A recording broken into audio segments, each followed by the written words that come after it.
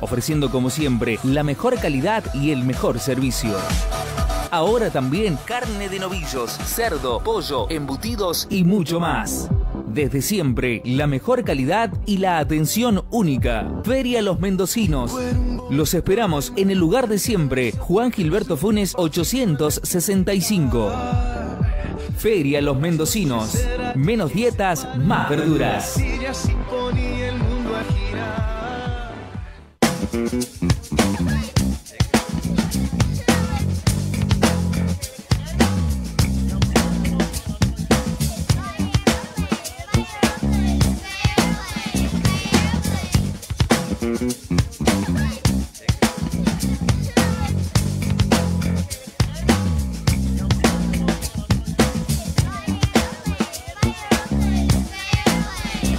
8 de la mañana, 53 minutos, como siempre, para hablar de política internacional. Está con nosotros Agustina Bordigoni. Agus, buen día, ¿cómo va? Buenos días, muy bien. Un placer, como siempre. Bueno, vamos a hablar de lo que pasa en la cumbre del G20, Xi Jinping, Biden, entre otros, y Alberto Fernández y Cafiero, que aunque no parezca, están todos entrelazados porque Argentina puede traer cosas positivas de allí. Bueno, la foto de ayer sí fue claramente la de Xi Jinping y Biden, porque fue la primera reunión eh, presencial que tuvieron desde la asunción de Biden en los Estados Unidos, ¿no? Correcto. Y además porque vienen de una historia de complicaciones. Primero con Trump, con la guerra comercial, ¿no? Y, la, llamada como guerra fría en el sentido comercial del término. Y por el otro lado, por las diferencias que hubo entre los dos países con respecto al tema de la guerra en Ucrania, ¿no? Que es una de las diferencias que además se trasladó a la cumbre del G20 en esta oportunidad también.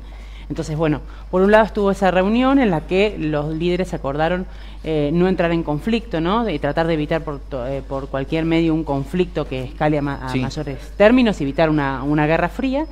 Y por el otro lado, sí, también el presidente argentino se reunió esta mañana después de haber tenido un inconveniente de salud, por el cual lo tuvo que reemplazar Cafiero en, en uno de sus discursos, pero tuvo una, una reunión con Xi Jinping.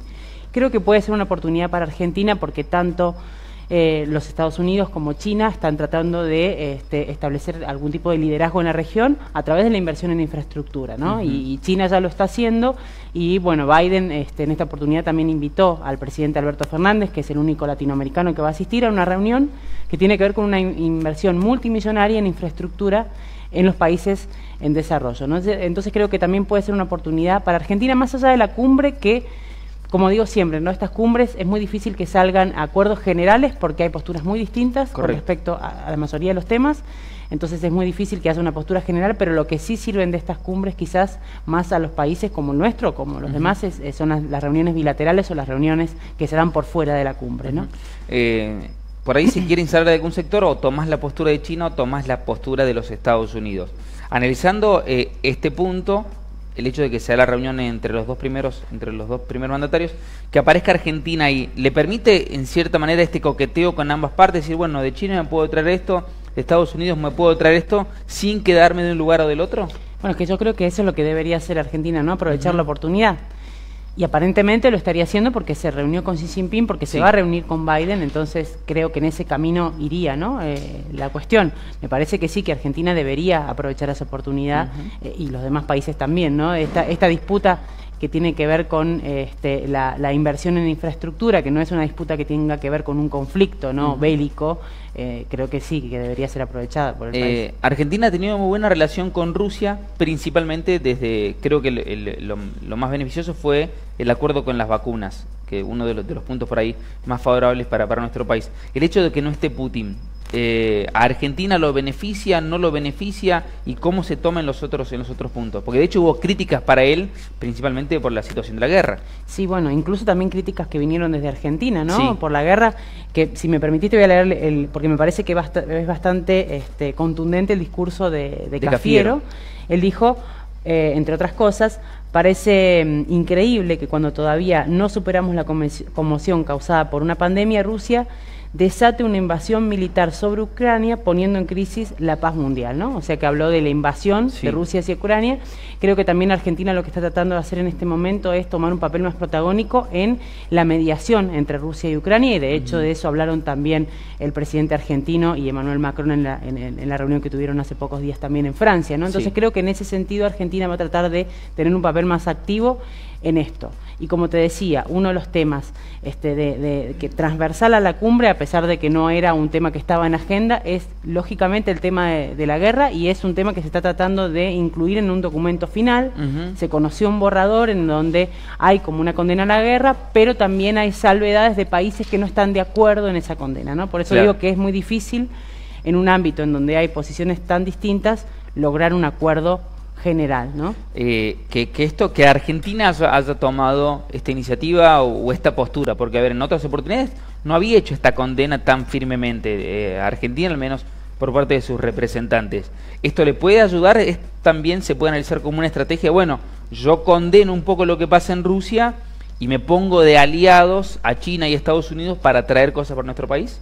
Bueno, la postura de China en ese sentido es diferente a la de los Estados Unidos. ¿no? China se mantuvo siempre neutral y, lo que, y lo que dijo Xi Jinping en su discurso en esta cumbre fue que había que evitar este, eh, tomar estas sanciones como y, el tema del hambre como un, un, arma de guerra. ¿no? Entonces, en definitiva, la postura de China sigue siendo neutral. Yo creo que más allá de beneficiarlo quizás en la relación con China o con los Estados Unidos o acercarlo, yo creo que lo que hace es darle un papel más protagónico, que es lo que está intentando hacer Argentina a nivel internacional, me parece que, que es un poco eso, ¿no? este, y acercarse sí a otras posturas como la de Estados Unidos, hacer una condena más fuerte, que es la que, que, la, que es la que vimos, pero me parece que tiene que ver con un papel más protagónico, más que con acercarse a posturas que, como te digo, tanto de China como de los Estados Unidos son distintas, pero aún así se puede aprovechar la oportunidad de esta, de esta confrontación, entre comillas, entre los dos países para ejercer un liderazgo en la región. Esta, esta situación que, que, se, que se lleva adelante, más allá de las negociaciones, ¿qué otro, eh, y si hay otro punto en el que puede beneficiar a, nuestro país o simplemente por ahora quiere ir de a poco? Bueno, vamos restableciendo eh, relaciones y de ahí vemos qué podemos traer. En este caso, las inversiones que, marcabas. Bueno, la expectativa también está puesta en la reunión este, con la presidenta del Fondo Monetario Internacional y el tema de, los intereses de la deuda, ¿no? Eh, quizás en ese sentido se pueda lograr alguna negociación. Como digo, en estas en estas cumbres yo mm, realmente, y, esto es una opinión personal, pero creo que estas cumbres más que declaraciones generales que después no se traducen en nada, en prácticamente nada, eh, no se logran, pero sí en estas reuniones bilaterales o reuniones este, con, algunos líderes, ¿no? Eh, se puede lograr algo. Y en este caso creo que en Argentina, la expectativa argentina está puesta en bueno, esta reunión que hubo con Xi Jinping, que, ya se produjo, la reunión con Biden y con otros mandatarios, no va a ser una reunión bilateral, pero sí va a ser el único latinoamericano presente en esa, en esa reunión, lo cual se toma, digamos, se interpreta por parte de la Cancillería Argentina como un logro. Perdón, eh, paréntesis ahí. El presidente, al ser el único representante de Latinoamérica, ¿puede después bajar con un mensaje para Latinoamérica y decir, che, ¿podemos hacer esto para crecer Latinoamérica? O, o el hecho de que no haya representante de Latinoamérica también desestima un poco Latinoamérica en esta presencia? Bueno, es que yo, creo que por un lado, como la reunión tiene que ver con eh, la inversión en infraestructura, creo que va a tener que ver más con aprovecharlo desde Argentina, ¿no? Quizás este y, este impulso que se le está tratando de dar a la integración regional, con la promesa de Lula de volver a, este a este camino, este pueda, digamos, Argentina en este papel de liderazgo que está intentando tomar, también este, favorecer a la región de alguna manera. Pero me parece que, sobre todo, digamos, específicamente esta reunión tiene que ver con la inversión en infraestructura eh, y con una oportunidad que Argentina puede aprovechar en ese sentido. Eh, Alberto Fernández, ¿puede posicionarse como un líder latinoamericano o estamos lejos de eso? No, es lo que creo que, es, lo que está, es lo que está tratando de hacer y también este, intentando este, ocupar un lugar más importante en el Banco Interamericano de Desarrollo, ¿no? Este, creo que con eh, la llegada de, Lula a Brasil sí hay una cuestión, digamos que si bien puede propiciarse más, este, más integración regional, también siempre hubo históricamente entre Argentina y Brasil una disputa por el liderazgo en la región, ¿no? este, y quizás no sé, digamos, no, no, no, no quiero hacer análisis sobre eso, pero probablemente Argentina está aprovechando esta, esta oportunidad para, para poder posicionarse de una manera más fuerte antes de la llegada de Lula y el nuevo liderazgo que, que se espera que, que este, tenga Brasil en la región nuevamente y en el mundo. ¿no? Bien, volviendo al G20, ¿cómo continúa esto? Bueno, ahora hay una serie de reuniones, los temas principales, el tema principal es el tema de eh, la recuperación post pandemia, de hecho el lema es ese, ¿no? Recuperarse juntos, recuperarse mejor, ¿no? Este, para estar mejor. Bueno, ese es el lema de, este año, de la reunión de este año. Eh, que tienen, bueno, los temas que se van a tratar tienen que ver con la salud, este, con la seguridad alimentaria, ¿no? Eh, se lograron algunos como te digo, algunos documentos, algunos acuerdos, eh, algunas de las cuestiones, por ejemplo, como te digo, declaraciones muy generales, aumentar la capacidad productiva de alimentos, promover el comercio de bienes agrícolas, incentivar la innovación de los campesinos, todas cuestiones como generales que... Este, ¿Cambio climático por ahora nada o ya se hizo? Cambio climático también está, está en la agenda, también es un tema muy importante y el tema que transversal a todo esto es sigue siendo el tema de, la guerra de Ucrania y está de hecho en el borrador que se pretende este, aprobar mañana. Muy bien. Agus, gracias como siempre. Gracias Buena jornada. Agustina Bordigón y el análisis de la política internacional.